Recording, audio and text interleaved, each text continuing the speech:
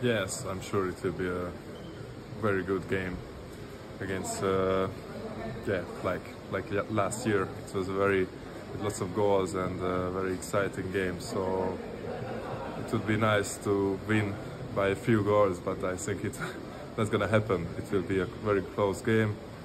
Maybe a little bit more goals than uh, than our last two games because I think the Novi Belgrade has a very good offense. But uh, on the other hand, I think we can score more goals because maybe their defense is uh, not so strong. They focus more on offense, but uh, we will see.